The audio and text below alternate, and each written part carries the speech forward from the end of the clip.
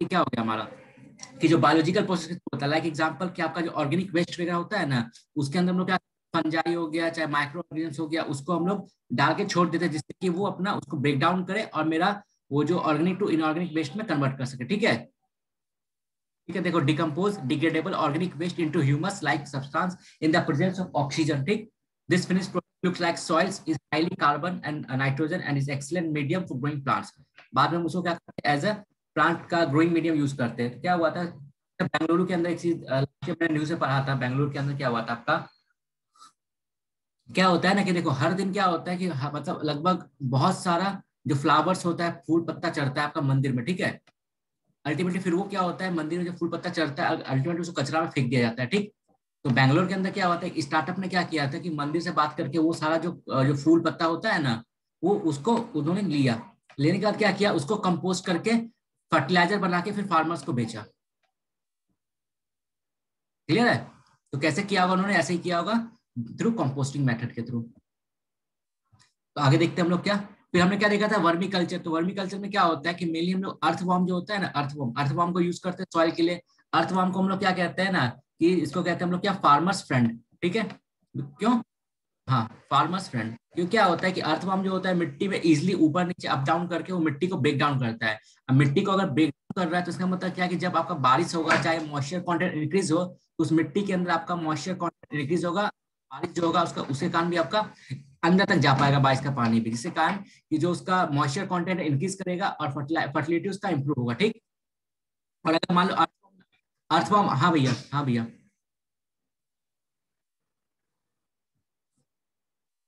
कुछ नहीं करता है। आप देखते हो, ट्रैक्टर के पीछे जो होता है, ट्रैक्टर के पीछे आपने देखा होगा, ऐसा कुछ होता है। ठीक है खोदते रहता है, ठीक है?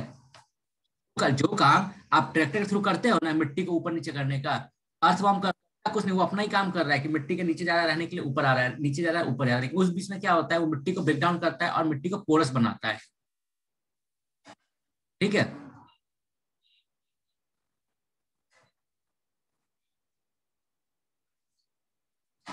नहीं, बोला तो मिट्टी के जब अंदर जाएगा तो आपका कहीं ना कहीं वो डिग करके जब जाएगा तो उसका मिट्टी का सॉइल का पॉजिटिव वो इंक्रीज करेगा, इसके कारण कि आपका मॉइस्चर इंक्रीज करेगा, ठीक है? अब मॉइस्चर को करेगा तो ज़्यादा इजिली मॉइस्चर को होल्ड कर पाएगा सॉइल आपका। होल्ड करेगा आपका प्रोडक्टिविटी फर्टिलिटी इंप्रूव करेगा, ठीक है? तो earthworm added to the compost earthworm को ऐड करते हैं। This worm break the waste and added excreta to the worms make the compost very rich in nutrition clear है? हाँ अर्थवॉर्म को यूज़ करते हैं। उसका अर्थवॉर्म का क्या उसको ब्रेक डाउन करता है सॉइल को, ठीक है? जिसके कारण हमारा जो मिट्टी होता है, उसका न्यूट्रिशन इंक्रीज होता है। अब अब हमने में ये भी देखा था ना, हमने क्या देखा था? बायोलॉजिकल ऑक्सीजन डिमांड का, ठीक? वार्म वाटर ऑक्सीजन हमने क्या देखा था? कोल्ड वाटर जो होता है, उसका डेंसिटी ज़्यादा होता है, ठीक है? ऑक्सीजन का कॉन्टेंट मेरा ज़्यादा रहता है, ठीक है? जो वार्म वाटर रहता है मेरा, उसका डेंसिटी कम रहता है। इसलिए उसका अंदर ऑक्सीजन का कंटेंट भी आपका कम रहता है। इसलिए हमने डिस्कस क्या, किया। जब थर्मल पावर प्लांट से हम लोग का वाटर रिलीज़ किया जाता है तो क्या होता है, जब वो मिक्सअप होता है दोबारा जाकर रिवर के अंदर तो क्या होता है, उस पानी के अंदर आपका ऑक्सीजन कॉन्टेंट कम हो जाता है, ठीक है? क्योंकि वार्म वाटर ठीक ना? उसके कारण क्या होता है कि जो एक्वेटिक लाइफ है वहाँ पे वो डेथ करना स्टार्ट कर जाता है। एक तरह से वो डेथ जोन बनाते हैं वहाँ पे। बिकॉज़ ऑक्सीजन कम ऑक्सीजन कम है तो क्या होगा कि आपका जो लिविंग ऑर्गेनिजम्स है वहाँ पर लिविंग ऑर्गेनिजम्स को ऑक्सीजन मिलेगा नहीं, और डाई क्लियर है? अब हमने क्या डिस्कस किया था लास्ट क्लास में? कि जो मेरा ऑक्सीजन डिमांड होता है, मेरा कहाँ पे ज़्यादा होता है? जो मेरा गंदा पानी होगा या फिर डर्टी वाटर होगा, ठीक है? इम्प्योर वाटर होगा, ठीक? वहाँ पे मेरा जो डिमांड ऑक्सीजन का ज़्यादा होगा बिकॉज़ ऑक्सीजन का डिमांड होता क्यों वाटर के अंदर? ऑक्सीजन का डिमांड क्या होता है? मेनली आपका जो माइक्रो ऑर्गेनिजम्स होते हैं, आपका खासकर डिकम्पोजर्स ठीक? तो वाटर बॉडी के अंदर जितना ज़्यादा इम्प्योरिटी रहेगा आपका, जितना ज़्यादा मतलब आपका डेड ऑर्गेनिक मटेरियल रहेगा आपका, उसको डिकम्पोज करने के लिए, ठीक है? उसको डिकम्पोज करने के लिए आपको जो डिकम्पोजर्स होगा, वो ज़्यादा एनर्जी चाहिएगा उसको। क्लियर है? डिकम्पोजर्स को ज़्यादा काम करना है तो उसको ज़्यादा एनर्जी चाहिए। और अगर डिकम्पोजर्स आपको ज़्यादा एनर्जी का डिमांड कर रहा है तो इसका मतलब क्या है?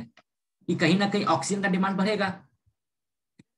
तो इसका मतलब क्या? अगर ऑक्सीजन का डिमांड बढ़ रहा है, इसका मतलब क्या है? वाटर आपका इम्प्योर है। ठीक है? इज़ इट क्लियर देखो लास्ट क्लास हाँ इम्प्योर है तभी तो वाटर इम्प्योर है तभी तो मतलब जो उसके अंदर डिकम्पोजर्स है उसको ज़्यादा एनर्जी चाहिए उसको ब्रेक डाउन करने के लिए। क्लियर है? एलिवेट एलि, हाँ elevated temperature typically decreases the level of oxygen oxygen water क्या होता है? मैंने बताया जब आपका टेम्परेचर इंक्रीज होता है वाटर का तो उसके अंदर जो डिजॉल्व ऑक्सीजन होता है वो उसका मात्रा या फिर उसका जो क्वांटिटी होता है डिक्लाइन कर जाता है ठीक है? So there is a decrease in the rate of decomposition of organic matter ठीक? अब जब वाटर ज़्यादा गर्म हो जाएगा तो उसका जो रेट ऑफ़ डिकम्पोजिशन वो भी इफ़ेक्ट आएगा कहीं ना कहीं, ठीक? अब जब ये क्या होता है मेरा कि जो ग्रीन एल्गी होता है ना ग्रीन एलगी वो पूरा आ जाएगा। देखते हैं हम लोग लेक के ऊपर देखते हैं ना, पूरा का पूरा ग्रीनरी छा जाता है पूरा। देखा होगा लेक है पूरा, ठीक? लेक के ऊपर पूरा ग्रीन ग्रीन ग्रीन टाइप का होता है। तो मेनली क्या होता है, वो इसलिए होता है क्योंकि वो वाटर जो वहाँ पे ऑक्सीजन का आपका क्या है कि ज़्यादा डिमांड है उस वाटर का, उसको ज़्यादा ऑक्सीजन चाहिए। बिकॉज़ ऑक्सीजन कमी है, इसलिए वो उसको ब्रेक डाउन नहीं कर पा रहा है कहीं ना कहीं। Many animals fail to multiply अब जैसा, जब ये होगा कि ऑक्सीजन आपका डिमांड ज़्यादा हो जा, हो जाएगा, इसका मतलब क्या है कि आपका वाटर बॉडी के अंदर ऑक्सीजन का ऑक्सीजन कम है आपका, ठीक? अब ऑक्सीजन जब कम वाटर बॉडी के अंदर तो आपका जो एनिमल्स वगैरह, वो डेथ करना स्टार्ट कर जाएगा, ठीक है? उनका इंक्रीज नहीं होगा, उनका डेथ हो जाएगा तो increase the metabolic rate of aquatic animals अब सिंपल सा बात है, अगर देखते हो क्या? अगर आप मान लो माउंट क्लाइंबिंग कर रहे हो, ठीक है? या फिर आप करते हो? क्या होता है, जब आपको बॉडी को ज़्यादा एनर्जी चाहिए तो आप क्या करते हो? ज़्यादा ज़ोर से सांस लेना स्टार्ट करते हो। ठीक है? सिंपल सा बात है। उसी तरह क्या है कि जब ऑक्सीजन का डिमांड आपका ऑक्सीजन का सप्लाई जो है एक्वाटिक लाइफ में कम होगा, ठीक है? तो जो एनिमल्स है, उनका बॉडी का मेटाबॉलिज्म इंक्रीज करेगा। क्लियर है? इसलिए ये समझ में आया भैया? मैं क्या बोला? हाँ फिर से बताता हूँ। फिर से एक एक सेकंड बताता हूँ बताता हूँ फिर से एग्ज़ाम्पल से। अगर मान लिया जाए कि हम नॉर्मल सिचुएशन में, ठीक है? लेकिन अगर मान लो हम कहीं पे दौड़ते हैं या फिर मान लो कि कहीं अपर मतलब हिल एरिया पे जाते हैं, क्या होता है? हमारा ब्रीदिंग रेट बढ़ता है? हाँ बढ़ता है। इसका मतलब क्या है कि हमारा बॉडी जो होता है, कहीं ना कहीं ऑक्सीजन का कमी के कारण अपना जो अंदर का मेटाबॉलिज्म होता है, उसको फास्ट करता है जैसे कि हम मतलब मान लो कि अभी क्या है कि यहाँ पर ट्वेंटी वन परसेंट ऑक्सीजन ठीक है, हमारा काम चल रहा है। लेकिन मान लो जैसे ऊपर जाते हैं, वहाँ पर है टेन परसेंट ऑक्सीजन हमारा, ठीक है। हमारी बॉडी को तो भैया इसका आदत लग चुका है। ऐसा जब उसको इतना ऑक्सीजन चाहिए एयर के अंदर। जब नहीं मिलेगा क्या होगा कि जहाँ वो सौ एम नॉर्मल सांस ले रहा था मतलब सौ, अब वो दो सौ लेगा सांस, ठीक है। तो इसका रेट ऑफ़ ब्रीथिंग इंक्रीज हो जाएगा, उसका बॉडी मेटाबॉलिज्म का रेट है वो इंक्रीज हो जाएगा। तो जब एक्वेटिक लाइफ के अंदर ऑक्सीजन का ऑक्सीजन का सप्लाई कम हो जाता है तो उसके कारण क्या होता है आपका? It increases the metabolic rate of aquatic animal result in the consumption of more food अब ज़्यादा मेटाबॉलिक एक्टिविटी होगा तो ज़्यादा खाना से उसको चाहिए। ठीक है? A shorter time that if then uh, if the environment not changed. Clear है? Increased metabolic rate must uh, may result in the food source इतना substantial population. अब देखो फिर से समझो इस सब चीज़ को अच्छे से। एग्जांपल से समझाता हूँ। देखो ये रहा आपका लेक ठीक है? इसके अंदर लेक है आपका, ठीक है? ये मान लो लेक रहा आपका, ठीक है? अब क्या है कि इसके अंदर मान लो कि आपका जो ऑक्सीजन कमी हो गया, ठीक? ऑक्सीजन कमी के कारण क्या होगा कि ये जो एनिमल्स है, आपका नीचे जो रह रहा है एनिमल्स ठीक? एनिमल्स हाँ भैया। हाँ बताओ। हम्म। हम्म हम्म।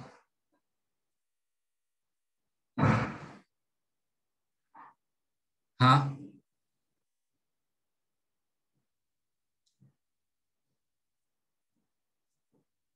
वो ज़्यादा होगा।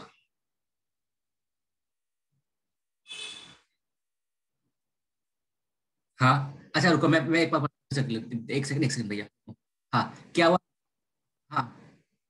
ठीक है भैया। आपका आवाज़ थोड़ा कट रहा है। हाँ ठीक है। हम्म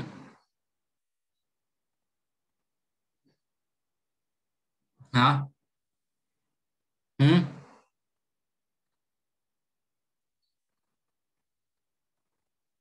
हम्म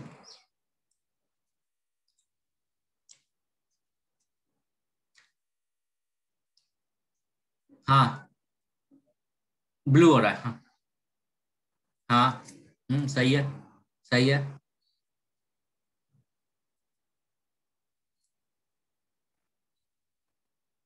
हाँ।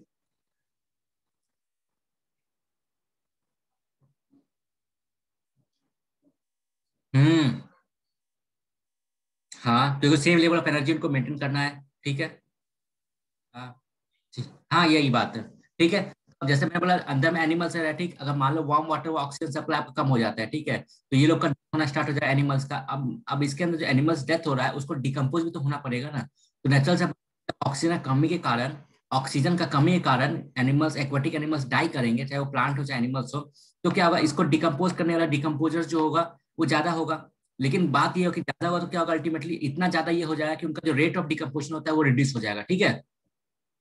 क्लियर है? अब जब रेट ऑफ़ डिकम्पोजन आपका रिड्यूस होगा तो अल्टीमेटली क्या होगा कि ये डिकम्पोज ठीक से कर नहीं पाएगा। तो सिचुएशन में क्या होगा कि आपका ब्लूबेरी एलगी का फॉर्मेशन होगा। ठीक है? अब सिंपल सा बात है कि अब इनको जो चाहिए एनर्जी लेवल तो मेंटेन करना ही पड़ेगा। तो अब क्या हो रहा है कि ऑक्सीजन को मिल नहीं रहा है, लेकिन बॉडी का एनर्जी लेवल इनको सेम रखना है। तो उसके लिए क्या ये ज़्यादा मेटाबॉलिज्म एक्टिविटी इनका बॉडी का ज़्यादा होगा, ठीक है? अब मेटाबॉलिज्म एक्टिविटी जब ज़्यादा होगा तो भैया भूख भी ज़्यादा लगेगा, ठीक है? उनको फ़ूड भी ज़्यादा चाहिए। अब जब फ़ूड ज़्यादा चाहिए तो क्या होगा? वो शॉर्ट टाइम के अंदर ही क्या होगा कि ज़्यादा फ़ूड कंज्यूम करेंगे। अब ज़्यादा फ़ूड कंज्यूम करेंगे तो अल्टीमेटली वो भी कहीं ना कहीं हमारा जो आ, मतलब जो इन फ्यूचर जो पॉपुलेशन आने वाला है उसका जो पॉपुलेशन ऑल ओवर पॉपुलेशन उसको इफ़ेक्ट करेगा हमारा। क्योंकि जो मान लो कि दस जानवर के लेता है मान लो कि because of this process metabolism activity increase करता है और दे रिक्वायर मोर फ़ूड ठीक तो अल्टीमेटली हो सकता है कि पाँच या छह का पेट भरे। बाकी चार तो हो नहीं पाएगा तो कहीं ना कहीं उनका पॉपुलेशन ग्रोथ रेट पे इफ़ेक्ट पड़ेगा। क्लियर है यहाँ तक? बोला तो बहुत इजी बहुत इजी लैंग्वेज में लिखा हुआ है ठीक ना? बुक इस लैंग्वेज में बहुत इजी लैंग्वेज में ब्रेक करके। ठीक है चलो हाँ यहाँ तक हाँ ठीक है। अब हमने क्या देखा था कि हमारा जो आ, मतलब जो इन्वायरमेंट होता है उसके अंदर प्राइमरी प्रोड्यूसर कौन होता है हमारा? हमने देखा था ना ये हमारा चार्ट रहा ठीक है? इसमें हमारा प्राइमरी प्रोड्यूसर प्लांट ठीक है? सेकेंडरी हो गया हर्बीवोरस और टर्शरी हो गया मेरा कार्निवोरस क्लियर तो मतलब क्या होता है, कुछ भी चीज़ प्रोड्यूस होता है हमारे एनवायरमेंट के अंदर, कौन प्रोड्यूस करता है? प्लांट या उसको इसलिए उसको हम लोग प्राइमरी प्रोड्यूसर कहते हैं। Primary producer are affected by warm water because higher water temperature increases plant growth rate क्योंकि क्या होता है हाइयर वाटर वाला क्या होगा? अल्टीमेटली वो ज़्यादा मेटाबॉलिज्म एक्टिविटी होगा उनके बॉडी के अंदर, ज़्यादा फ़ूड रिक्वायरमेंट होगा तो उस समय क्या होगा जल्दी जल्दी फ़ूड ग्रो करेगा बट उनका लाइफ स्पेन शॉर्टर हो जाएगा। क्लियर है? Primary producer are affected by warm water because higher water temperature increases plant growth rate plant growth rate अब high temperature प्लांट का ग्रोथ रेट तो बढ़ेगा लेकिन जो ऑल ओवर क्या होता है पूरा लाइफ लाइफ स्पेन में जितना वो जीता ठीक है और धीरे धीरे बढ़ता है लेकिन अब क्या हो रहा है कि ज़्यादा वो मेटाबॉलिज्म एक्टिविटी हो रहा है उसके अंदर तो ज़्यादा रेट से इंक्रीज कर रहा है लेकिन उसका लाइफ स्पेन बहुत छोटा हो जाएगा। Resulting in a shorter life span and species over population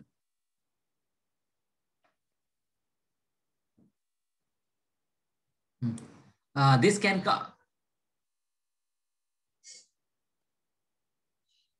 क्या चीज़?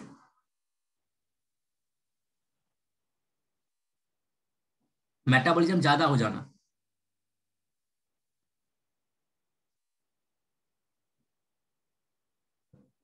ठीक है। This can cause algal bloom which reduce oxygen level in the water जिसके कारण क्या होगा ओवर पॉपुलेशन होगा आपका प्लांट के मतलब एक्वेटिक लाइफ के अंदर। तो आपका जो ऊपर में देखते हैं ना वीड्स वगैरह, या फिर जो पानी का प्लांट होता है, उसका पॉपुलेशन हो जाएगा। ठीक है ओवर पॉपुलेट हो रहा है वो भी। अगर वो ओवर पॉपुलेट हो रहा है, इसका मतलब क्या? वो ज़्यादा ऑक्सीजन का डिमांड कर रहा है। ठीक है? उसको भी तो ऑक्सीजन चाहिए ना। तो अगर मान लो कि प्लांट हाँ भैया। हाँ बोलिए।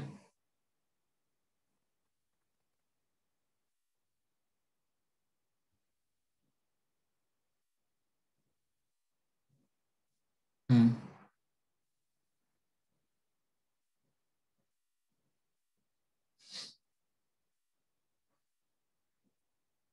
ज़्यादा इसलिए होगा कि उसका बॉडी का मेटाबॉलिज्म एक्टिविटी इंक्रीज कर रहा है ना। क्लियर है? अब जैसे इस, इसको ये समझ सकते हैं कि हमारा देखो मान लो ग्रोथ हमारा ह्यूमन बॉडी में क्या होता है? ग्रोथ रेट का एक हार्मोन अलग से ठीक? अगर मान लो ज़्यादा न्यूट्रिशन कंज्यूम कर रहे हैं ज़्यादा न्यूट्रिशन कंज्यूम कर रहे हैं बिकॉज़ ऑफ़ सम रीजन तो क्या होगा? वो क्या हुआ? टोटल हम क्या हम क्या बोले टोटल मेटाबॉलिज्म एक्टिविटी होता है ना मेटाबॉलिज्म एक्टिविटी बॉडी का वो इंक्रीज हो जाता है उसका बॉडी का। इसलिए ठीक है? तो resulting in the short life span या दिस कैन कॉज एल्गल हाँ मैं क्या बताया था? यहाँ पे मान लीजिए ज़्यादा आपका प्लांट हो जा रहा है अल्टीमेटली क्या होगा कि फर्दर ऑलरेडी जो ऑक्सीजन कम था वाटर के अंदर, वो और कम हो जाएगा मेरा, ठीक है? क्लियर है? तो the higher plant density result in reduce light intensity मतलब क्या, ये जो आपका प्लांट डेंसिटी इंक्रीज हो गया ऊपर में उसके कारण क्या होगा कि लाइट जो आ रहा था एक्वेटिक लाइफ के अंदर लाइट जो आ रहा था, वो भी कहीं ना कहीं कम हो जाएगा, आना, क्योंकि ऊपर का लेयर क्या पूरा कवर हो चुका है ठीक है? क्लियर है? तो the higher plant density result in reduced light intensity decreases photosynthesis अब लाइट कम आएगा तो फोटोसिंथेसिस भी डिक्रीज हो जाएगा आपका and lead to an increase plant respiration rate अब नेचुरल से बात है क्या? कि अगर उसको जैसे मैंने बोला कि अगर मान लो कि आपको ऑक्सीजन नहीं मिल रहा है कहीं ना कहीं फोटोसिंथेसिस के लिए तो क्या होगा अल्टीमेटली उसका जो रिस्पेशन रेट है वही बढ़ेगा प्लांट का. क्लियर है? तो अल्टीमेटली इसके कारण क्या होगा? क्या रिज़ल्ट क्या? यूट्रोफिकेशन मतलब क्या अल्टीमेटली प्लांट जो होगा वहाँ पर डाई करना फिर स्टार्ट कर देगा एनिमल्स वगैरह हमारा. अब क्योंकि बिकॉज़ उसके अंदर न्यूट्रिशन ज़्यादा हो जाएगा। तो अब अब देखते हैं टर्म में क्या? को जनरेशन मतलब क्या होता है देखो बहुत बार क्या होता है जैसे मान लिया जाए कि आपका थर्मल पावर प्लांट है ठीक? आपने क्या किया? पानी को लाया गर्म किया ठीक है? को, कोयला को जला के ठीक है? गर्म किया पानी को ठीक है? पानी ने विंड टर्बाइन को घुमाया उसके पानी को आपने नदी में बहा दिया ठीक? क्लियर है? अब देखो प्रॉब्लम यहाँ पे ये यह हो जाता है कि आपका एक टाइप का रिसोर्सेज यहाँ वेस्ट हो रहा है, क्योंकि जो आपने पानी गर्म किया है ना, उसको भी आप किसी ना किसी चीज़ में यूज़ कर सकते हो। क्लियर है? को जनरेशन क्या होता है? ऐसा प्रोसेस होता है जहाँ पर सेम प्रोसेस में, के अंदर जो, दो अलग अलग टाइप का जो एनर्जी फॉर्मेशन होता है, उसका हम यूज़ करते हैं। Process through the excess heat energy from generating electricity can be used in another manufacturing process that needs such energy clear है ये चीज़? भैया? हम्म तो उसका देखते हैं फैक्चुअल इन्फॉर्मेशन हमारा। क्या वाइल्ड लाइफ वीक जो होता है, अक्टूबर के लास्ट में सेलिब्रेट होता है? लास्ट वीक में सेलिब्रेट होता है wild week wild life week हमारा। तो उतना इम्पोर्टेंट नहीं है फ़िलहाल, देखते हैं हाँ। तो बायो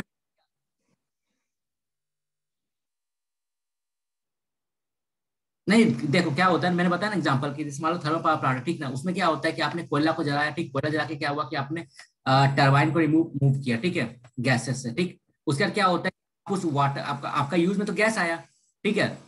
हॉट वाटर वो आपका हुआ, जो हीट एनर्जी आपका बना तो आपको यूज़ कर नहीं रहे, उसको तो नदी में छोड़ दे रहे हो। क्लियर है? तो को जनरेशन में क्या होता है कि आपने, आपका एक काम तो रहा, लेकिन जो एक्स्ट्रा हीट जनरेट हो रहा है, उसको भी आप किसी मैन्युफैक्चरिंग प्रोसेस में यूज़ करो। हाँ वही हो गया आपका। ठीक है? हाँ दो जन मतलब दो टाइप का एनर्जी एक साथ यूज़ कर रहे हो आप। अब बायोरेमेडियन हमने देखा है ऑलरेडी क्वेश्चन में क्या बायोरेमेडियन क्या होता है कि जैसे मान लिया जाए कि ये वाटर है, ठीक, बहुत ज़्यादा पॉल्यूटेड है, ठीक है? या फिर ये लैंड बहुत ज़्यादा पॉल्यूटेड है तो वहाँ पे हम लोग क्या करते हैं कि हम लोग माइक्रो ऑर्गेनिम्स को इंट्रोड्यूस करते हैं, ठीक? वो माइक्रो ऑर्गेनिज्म क्या करता है, जो वेस्ट प्रोडक्ट होता है वहाँ पे, उसको डिकम्पोज कर देता है, जिससे कि बाद में हमारा जो जो इम्प्योरिटीज होता है, उस सॉइल में या वाटर में कहीं पर भी हमारा इन्वायरमेंट के अंदर उसको फ्री फ्रॉम पॉल्यूशन कर देता है हमारा। तो बायोरेमेडियंस रेमेडियंस रेमेडियंस का पता है हमको क्या सॉल्यूशन एक टाइप से बायो मतलब biological solution use of microorganisms चाहे वो बैक्टीरिया चाहे फंगी है to degrade the environmental contamination into less toxic form है? जो इन्वायरमेंट के अंदर जो टॉक्सिक एलिमेंट्स होता है, उसको रिड्यूस करने का काम करता है, मेरे बायोवेंटिंग क्या होता है? Supply of air and nutrition through well to contaminated soil to stimulate the growth of indigenous bacteria अब देखो, मान लो कि ये एरिया है ठीक है, ये पॉल्यूटेड है, ठीक है, बहुत ज़्यादा। तो हम क्या करेंगे? उसका पैरेलल में कहीं ना कहीं से करके हम लोग क्या करेंगे, उसके नीचे में हम लोग क्या करेंगे माइक्रो ऑर्गेनिज्म को इंट्रोड्यूस करेंगे, ठीक है जिससे कि वो उस एक जगह का एक टाइप से जो मतलब हमारा जो एक्टिविटीज़ हो जिससे कारण कि हमारा जो पॉल्यूटेड है, हमारा कॉन्टेमिनेटेड सॉइल है, वो दोबारा हमारा ठीक हो जाए supply of air and nutrition through a well to contaminated stimulate the growth of indigenous bacteria. It is used for simple hydrocarbons and can be used where the contamination is deep under the surface. समझ में मतलब क्या होता है, ये मान लो land रहा मेरा, ठीक है? तो हम लोग क्या करते हैं वेल के थ्रू जैसे होता है ना पेट्रोल वगैरह निकालते हैं हाइड्रोकार्बन निकालते हैं टाइप का एक वेल हम लोग करेंगे, ठीक है? उस वेल के अंदर क्या करेंगे, हम लोग एयर सप्लाई को मतलब इंक्रीज करके न्यूट्रिशन को इंक्रीज करेंगे बैक्टीरिया को इंट्रोड्यूस करेंगे, ठीक है? जिसके थ्रू वो सॉइल को जाके हमारा जो कॉन्टामिनेटेड सॉइल हो चुका है, वहाँ पे जो बैक्टीरिया वगैरह उसका एक्टिविटी को इम्प्रूव करे बूस्टअप करे, और फिर ये जो एरिया में पॉल्यूटेड हो चुका है, उसको ठीक कर दे। क्लियर है? हम्म। अब मेरा होता है बायोस्पेरिंग क्या होता है? Injection of air under pressure below the water table to increase ground water oxygen concentration enhance the rate of biological degradation by contamination by natural bacteria तो सेम काम यहाँ पे लेकिन यहाँ पे क्या होता है कि हम लोग वाटर में इंट्रोड्यूस करते हैं ये चीज़ ठीक है? ऑक्सीजन लेवल मेरा वाटर बॉडी रहा ठीक है? तो वाटर बॉडी के इंटीरियर हम लोग ऑक्सीजन लेवल को इम्प्रूव करते हैं जिससे कि ये मेरा आ, मतलब फिर सेम काम जो यहाँ पे हो रहा था सेम काम यहाँ पर भी होगा मेरा। Injection of air under pressure below the water table water table के अंदर करते हैं हम लोग। यहाँ पे क्या सॉइल के बिलो हो रहा है, यहाँ पे क्या हो रहा है वाटर टेबल के बिलो हो रहा है डिफरेंस यही है to increase groundwater oxygen concentration and enhance the rate of biological degradation of contamination by naturally occurring bacteria. अच्छा देखो डेफिनेशन अगर याद भी नहीं होता, कोई दिक्कत नहीं है। कॉन्सेप्ट बस याद रहना चाहिए। उतना डिटेल डेफिनेशन शायद ही पूछेगा। तो बायो आर्गुमेंटेशन क्या होता है? Microorganisms are imported to a contaminated site to enhance degrade process कुछ नहीं होता है मान लो डंप यार्ड है आपका, ठीक है? डंप यार्ड है इस डंप यार्ड में हमने जाकर क्या किया कि माइक्रो ऑर्गेनिजम्स और बैक्टीरिया वगैरह जो भी होता है, उसको हमने इंट्रोड्यूस किया। ठीक है? अब वो क्या करेगा वहाँ पे, जो वहाँ पे ऑर्गेनिक वेस्ट होगा या फिर जिसको तोड़ से बायोडिग्रेडेबल वेस्ट होगा, उसको ब्रेक डाउन करके कहीं ना कहीं आपका जो सॉइल में मिला देगा। ठीक है? क्लियर है? ये मेरा bio argumentation micro are are imported to contamination, contaminated sites to enhance degraded process. Clear? Clear भैया, यहाँ तक? ठीक है, चलो। जो बोला था, हमारा रिवीजन सेशन है इसलिए हम लोग थोड़ा फास्ट फास्ट जा रहे हैं इसको, क्योंकि मान के चल रहे थे हमारा बेसिक हो चुका है। अब बायोपाइल्स क्या होता है? Hybrid of land filling and composting अब क्या होता है? मैंने क्या देखा लैंड फिलिंग में क्या होता है भैया, ये रहा सेटलमेंट ह्यूमन सेटलमेंट यहाँ से कचरा उठाया हमने, यहाँ पे जाके खाली जगह फेंक दिया, ठीक है, शहर के बाहर, ठीक? कंपोस्टिंग में क्या होता है कि आपने यहाँ से कचरा उठाया, यहाँ पे जाकर जला दिया क्लियर है? तो बायोपिल्स हाइब्रिड मैटर होता है, जिसके अंदर आपका लैंड फॉर्मिंग भी होता है कंपोस्टिंग भी होता है। मतलब कि आपको थोड़ा सा जला वाला के थोड़ा सा कम करके फिर उसको लैंड फ़ार्मिंग मतलब वहाँ पे लैंड पे ही आप छोड़ देते हो। तो बस ये बायोपाइल्स जो मेरा होता है वो hybrid of land land farming and composting होता है। क्लियर अब बायोरिएक्टर्स क्या होता है? Process of contaminated soil material और water through engineer contaminated system देखो जैसे हमारा क्या था, ये रिएक्टर क्या था हमारा? न्यूक्लियर रिएक्टर क्या हुआ कि इस टाइप का ये रहता है, ठीक है, यहाँ पे आप इंट्रोड्यूस करते हो, ठीक है? क्लियर है? उसी तरह यहाँ पे क्या होता है कि आपका ये मान लो पॉल्यूटेड एरिया ठीक है? तो यहाँ पे आपने एक टाइप से माइक्रो ऑर्गेनिजम्स हुआ ये सबको आपने एक टाइप से इंट्रोड्यूस किया चाहे वो सॉइल में हो चाहे सेडिमेंट्स में हो चाहे स्लज में हो आपका ठीक है? आ, फिर जिसके कारण वो आपका ठीक ठाक कर देता है उधर। अब देखो फाइटो मेडियन क्या होता है? फाइटो मतलब होता है प्लांट ठीक है? तो इसमें क्या होता है? फाइटो रेमिडियन में क्या होता है? प्लांट का यूज़ करते हो to remove contamination from soil and water clear भैया? क्लियर है? हाँ। हाँ फाइटो एकोमुलेशन क्या होता है? एकोमुलेशन ऊपर क्या लिखा था? Process by which plant accumulate contamination into the root and ever ground should live phyto contamination क्या होता है? फाइटो मतलब प्लांट एकोमुलेशन जमा करना। तो क्या होता है? मान लो कि ये सॉइल आपका बहुत ज़्यादा पॉल्यूटेड है, ठीक ना? यहाँ पे आप मान लो पर्टिकुलर टाइप का एक प्लांट होता है जो ग्रो करता है। वो प्लांट क्या करेगा? कहीं ना कहीं जो रूट के अंदर या सॉइल के जो इम्प्योरिटीज है, उसको कहीं ना कहीं एब्जॉर्व कर लेगा, ठीक है? जिसके कारण की सॉइल यूस एरिया क्या होगा? थोड़ा प्योर हो जाएगा हमारा। The process by which plant accumulate contaminations into the root and above ground shoot or leaves. Clear है? यहाँ क्लियर है? हाँ.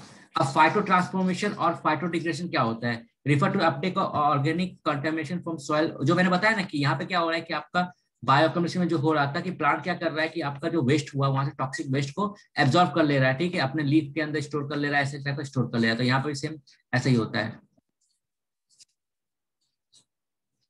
अब देखो हाँ।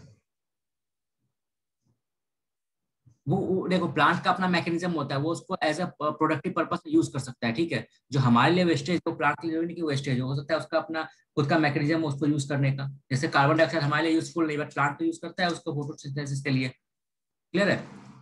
तो अगला कॉन्सेप्ट हमारा क्या? Photo stabilization is a technique in which plants reduce the mobility and migration of contaminated soil ठीक है? ये देखो, नाम में क्या फाइटो स्टेबलाइजेशन मतलब क्या प्लांट स्टेबलाइजेशन मतलब स्टेबलाइज करना कुछ, ठीक है? तो इसमें क्या होता है कि प्लांट होता है रिड्यूस करता है अपना मोबिलिटी को और माइग्रेशन कंटेमिनेट मतलब सॉइल को मूव नहीं करने देता है टाइप ठीक है?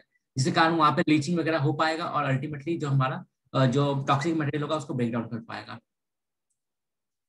अब हमारा अगला क्या है? Rhizo filtration is a water remedial technique हाँ water remedial technique that involve the uptake of contaminated by root plant जो हमने देखा ना प्लांट ऊपर जो काम करता है फाइटो रेविडियन में, वही काम यहाँ पर वही करता है बट तो वही है कि ये एक्वेटिक मतलब एक्वेटिक सिस्टम के लिए हमारा है। देखो rhizo filtration is use to reduce contamination in natural wetland and estuaries area clear देखो, यहाँ पे ज़्यादा एक्सप्लेन करने के लिए यहाँ क्योंकि आपको ये टर्म्स वगैरह थोड़ा तो याद करना पड़ेगा, ठीक है? तो यहाँ पे ज़्यादा कुछ है नहीं, ठीक है? जितना इजी हो रहा है, मैं कर दे रहा हूँ एक्सप्लेन बट थोड़ा मोटा टर्म्स तो याद करना पड़ जाएगा। माइक्रो क्या है? माइक्रो रेमेडियंस क्या है? Is a form of bio remediation in which fungi are used to decontaminate area इसमें क्या होता है? माइक्रो माइक्रो रेमिटेंस में क्या होता है? जो काम हमें प्लांट कर रहा था, ठीक है डिकम्पोज कर रहा था, यहाँ पे ये काम कौन करेगा? आपने क्या किया? एक पर्टिकुलर एरिया में डंप यार्ड में आपने फंजाई को इंट्रोड्यूस किया, ठीक है? वो फंजाई का क्या काम करेगा? उसको ब्रेक डाउन करके आपका वो सब ठीक करेगा। क्लियर है?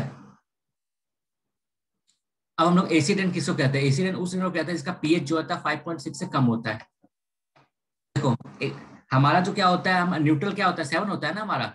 सेवन के अगर पीछे जाएँगे क्या होगा? मेरा एसिडिक होगा। ज़ीरो टू सेवन ठीक है? और सेवन से फोर्टीन जाएँगे तो हमारा बेसिक होगा। क्लियर है? लेकिन एसिडेंट हम हाँ एसिडेंट हम तब कहेंगे जब वो पर्टिकुलरली फाइव पॉइंट सिक्स से नीचे जाएगा तब। ठीक? नहीं फाइव पॉइंट सिक्स से नीचे जाएगा। हाँ हाँ एसिड ड्रेन हमारा, ठीक है? वैसे तो सेवन के नीचे जाएगा तो एसिडिक हो जाता है एसिड ट्रेन तभी कहेंगे जब उसके अंदर एसिड का मात्रा वहाँ ज़्यादा होगा। ठीक है? घड़ियाल कोकोडाइल हम लोग कहाँ कहाँ मिलता है? ये याद रखना इंडस वैली में मिलता है, ठीक है? ब्रह्मपुत्र में मिलता है, गंगा में मिलता है, महानदी में मिलता है काला नदी में मिलता है। ये हमारा साउथ में कहीं पे है, ठीक है? हमने एक चीज़ देखा था क्या? सल्फ़र मेरा होता है लैंड पे हमको मिलता नहीं है, ठीक है? सल्फ़र हमारा लैंड पे नहीं मिलता है। इस क्लियर कर लेना बिकॉज़ एक साल आ चुका है, उन्होंने कंफ्यूजिंग किया था। सल्फ़र हमारा लैंड पे बिल्कुल नहीं मिलता ज्योग्राफी पढ़ते टाइम हमने ये देखा था कि सल्फ़र का जो मेन सोर्स कहाँ होता है भैया हमारा? गल्फ ऑफ़ मैक्सिको ठीक है? ठीक है। तो सल्फ़र सोर्स क्या क्या सी एंड ओशियन सी से और ओशन से मिलता है सल्फ़र हमें, ठीक है? वॉल्केनिक इरप्शन से सल्फ़र मिलता है हमें। डिकम्पोजिशन ऑर्गेनिक मैटर से हमें सल्फ़र मिलता है, ठीक? अब क्या होता है? देखो हमारा एक होता है क्या? प्लांट जो होता है प्लांट और एनिमल्स कहीं ना कहीं वो बेटर तरीके से इन्वायरमेंटल चेंज को रिफ्लेक्ट करते हैं, ठीक है? तो होता है लीचेंस जो होता है लीचेंस जो होता है काई जो होता है ना, हम उसको as a good bio indicators मानते हैं कि फॉर एयर पॉल्यूशन अगर मान लो एयर पॉल्यूशन है तो उसके अंदर चेंजेस आना स्टार्ट हो जाता है तो उसको देख के हम पता लगा सकते हैं कि एयर कितना इम्प्योर नहीं है क्लियर तो lichen serve as good bio indicators air pollution clear अब एसिडेंट तो हमने देख लिया 5.6 से कम होता है मेरा ठीक है, लेकिन एसिडेंट के अंदर क्या क्या कंपोनेंट्स मेरा होता है, वो देख लेते हैं हम लोग। एसिडेंट के अंदर क्या होता है? सल्फ़र का आयन होता है हमारा सल्फेट का होता है। सल्फेट हो गया नाइट्रेट हो गया अमोनिया हो गया हाइड्रोजन हो गया ठीक है? ये सब होता है मेरा। क्लियर है यहाँ तक? अच्छा एक सेकेंड हम्म, तो देखा था ना? कि जैसे क्या होता है यूट्रोफिकेशन मेरा। एग्रीकल्चर मतलब एग्रीकल्चर एरिया जो होता है वहाँ से केमिकल फर्टिलाइजर्स किसी रीजन से हमारा बहके चले जाता है रिवर में ठीक? रिवर में जाएगा तो क्या होगा? कि रिवर के अंदर हमारा न्यूट्रिशन इंक्रीज हो जाता है ठीक? अब रिवर के अंदर में इंक्रीज हो जाएगा तो कहीं ना कहीं एलगी का जो होगा ओवर ग्रोथ होगा, ज़्यादा ग्रोथ हो जाएगा, ज़्यादा पॉपुलेशन इंक्रीज करेगा। अब एलगी का ज़्यादा पॉपुलेशन ग्रोथ करता है तो उसको हम लोग क्या कहते हैं? एल्गल ग्रुप क्लियर है? अब एल्गल ग्रुप इसका मतलब क्या पूरा सर्फेस पे आपका एलगी छा गया। अब अगर पूरा सर्फेस पे एलगी छा जाता है तो उसके कारण क्या होगा कि आपका कहीं ना कहीं जो ऑक्सीजन होता है या सनलाइट होता है, जो पेंट्रेट करता है रिवर मतलब आपको वाटर बॉडी में, वो कहीं ना कहीं इफ़ेक्ट करेगा। कम होगा पहले कंपेयर में। अब सनलाइट ऑक्सीजन वाटर का मतलब अंदर नहीं जा पाएगा, क्योंकि जो लेयर था वो वाटर का, वो तो पूरा पूरा ढक गया ना एक टाइप से एलगी से। तो उसके कारण क्या होगा कि ऑक्सीजन मिलेगा नहीं सनलाइट मिलेगा नहीं तो अंडरग्राउंड जो मतलब उस लेयर के नीचे जो आपका एक्वेटिक एनिमल्स या एक्वेटिक प्लांट रहेगा, वो डाई करना स्टार्ट कर जाएगा क्लियर है? अब जब वो, अब जब वो डाई करना स्टार्ट हो जाएगा तो इसका मतलब क्या है कि कहीं ना कहीं डिकम्पोजन का काम ज़्यादा बढ़ गया वहाँ पर क्योंकि भैया डेड मटेरियल तो डिकम्पोज करना पड़ेगा। तो bacterial decomposition consume the available oxygen in the aquatic system अब मतलब क्या, वो लोग डेथ करेगा? अब प्लांट वगैरह डेथ कर गया तो क्या होगा कि उसको डिकम्पोज करने जब आएगा वो मतलब डिकम्पोजर उसको भी ऑक्सीजन चाहिए। ठीक है? उसको भी ऑक्सीजन चाहिए। अब बात ये कि मतलब एल्गल ब्रूम के बाद ही एल्गल ब्रूम के बाद ये ऑलरेडी ऑक्सीजन का सप्लाई कम है यहाँ पर। ऑक्सीजन ऑलरेडी कम है मेरा, ठीक है? ऑक्सीजन की कमी कारण क्या हो रहा है कि आपका एनिमल्स हुआ चाहे प्लांट्स हो डेथ कर रहे हैं, ठीक है? बिकॉज़ ऑफ़ ऑक्सीजन का कमी कारण, ठीक? लेकिन जब डेथ करेगा, उसके बाद जो इसका डिकम्पोजिशन होगा तो वहाँ पर भी ऑक्सीजन ही चाहिए आपको। वहाँ पर भी ऑक्सीजन ही चाहिए। तो क्या होगा अल्टीमेटली इनका डेथ के बाद ऑक्सीजन की कमी से डेथ हुआ ठीक है? ऑक्सीजन की कमी कारण का डेथ हुआ है। लेकिन डेथ के बाद इनका डिकम्पोजिशन होगा, उसमें भी ऑक्सीजन ही चाहिए। तो मतलब क्या हो रहा है कि इनका एक तो कमी का डेथ कर रहा है और दूसरा इनका डेथ के बाद भी कमी और ज़्यादा हो जा रहा है। समझ रहे हो? तो अल्टीमेटली होगा क्या? यहाँ पर एनोक्सिया कंडीशन होगा। मतलब क्या? इस पूरा में जो ऑक्सीजन ऑलरेडी कम था इनका डेथ के, जिसके कारण का डेथ हुआ आफ्टर डेथ और कम हो जाएगा बिकॉज़ बैक्टीरियल कंपोजिशन में आपको यहाँ पर डिकम्पोज डिकम्पोजिशन में भी इन लोग को ऑक्सीजन ही चाहिए। क्लियर डिकम्पोजर्स को क्लियर है? तो अल्टीमेटली क्या होगा ऑक्सीजन का इतना ज़्यादा कमी हो जाएगा यहाँ पे ऑक्सीजन का, एक टाइप से सिचुएशन क्रिएट करेगा, जिसको हम लोग कहते हैं क्या एनोक्सिया कंडीशन मतलब डिवाइड ऑफ़ ऑक्सीजन मतलब ऑक्सीजन बिल्कुल कम हो जाएगा। तो यहाँ पर क्या होगा इससे कारण क्या होगा कि आपका all aquatic organism die due to lack of oxygen clear है? क्लियर है? यहाँ तक? हाँ जिसके कारण आपका पूरा एक्वेटिक इकोसिस्टम आपका खत्म हो जाएगा एक टाइप से फिर हमने क्या क्या देखा था? यहाँ एल्गल ब्लूम देख लिया था उसका हार्म हमने देख ही लिया सब कुछ, ठीक है? अच्छा रेड टाइट क्या होता है? ये देखो रेड टाइट क्या होता है? कुछ नहीं होता है, एक टाइप से पूरा एल्गल ब्लूम होता है ना, वो रेड टाइप का एल्गी होता है, जो कि जिसके कारण क्या होता है, पूरा सेम टू सेम वही चीज़ होता है जो हमने एल्गी केस में देखा था। बस रेड एल्गी नाम होता है, इसलिए वहाँ पे हो जाता है, क्योंकि ये भी एक टाइप से ऐसा सिचुएशन बनाता है कि आपका पूरा एक्वेटिक लाइफ वो हार्म हो जाएगा, खत्म हो जाएगा।